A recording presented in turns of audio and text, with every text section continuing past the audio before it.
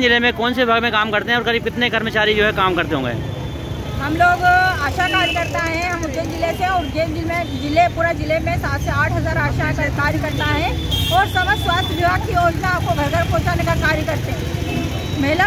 महिला से लेकर शिशु तक, जन्म, मृत्यु, सब लोगों, सब चीज़ों का हम लोग काम करते हैं और हर योजना, सरकार की हर योजना को हर एक घर तक पहुंचाते हैं। लेकिन आज हम लोग भी इतने मजबूर हो चुके हैं कि हमको रोड पर खड़े बार बार खड़ा होना पड़ रहा है। सरकार हमारी सुनती नहीं पचास बार ज्ञापन दे चुके हैं, लेकिन आज भी हम न्यूनतम वेतन भी नहीं दिया जा रहा है। हमको दो हज़ार में काम कराया जा रहा है। दो हज़ार में आप ही बताइए कि हम हमारा घर चला सकते हैं। महँगाई इतनी बढ़ चुकी है।